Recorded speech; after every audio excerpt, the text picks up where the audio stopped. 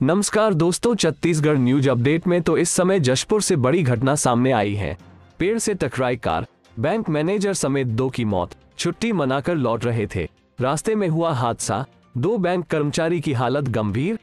छत्तीसगढ़ के जशपुर ज़िले में हुए सड़क हादसे में बैंक मैनेजर समेत दो लोगों की मौत हो गई है। दो बैंक कर्मचारी गंभीर रूप से घायल हुए हैं। सभी छुट्टी मनाकर कार से लौट रहे थे। इसी दौरान रास्ते में कार अनियंत्रित होकर पेड़ से टकरा गई। हादसा दुलदुला थाना क्षेत्र में हुआ है।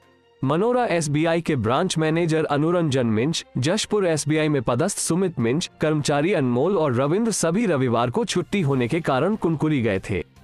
सभी ने मिलकर दिन भर छुट्टी मनाई, खाना खाया और रात के वक्त 9 से 10 बजे के बीच लौट रहे थे। तभी ये हादसा हो गया है। बताया जा रहा है कि कुनुकुरी जशपुर हाईवे में ये अभी चरईडांड गाँव के पास पहुँचे थे। उस दौरान कार की रफ्तार तेज थी। इतने में पता ही नहीं चला और कार अनियंत्रित होकर रोड की तरफ़ गई। इसके बाद एक पेड़ से टकरा गई। हादसे में मौके पर ही अनुरंज और सुमित की मौत हो गई थी। जबकि दो अन्य गंभीर रूप से घायल हुए थे। हादसा इतना भीषण था कि कार के परखच्चे उड़ गए। रात का वक्त था, इसलिए मौके पर तुरंत कोई नहीं था।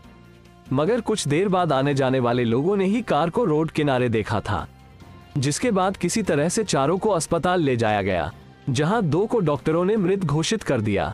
इसके अलावा अनमोल और रविंद्र को प्राथमिक इलाज के बाद रांची रेफर कर दिया गया है। जानकारी मिली है जो दो और लोग घायल हुए हैं।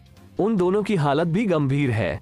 घटना की सूचना तुरंत ही पुलिस की टीम को दी गई थी, जिसके बाद पुलिस की टीम रात के वक्त ही मौके पर पहुँची। उसके बाद परिजनों को भी इस बारे में जानकारी दी गई थी।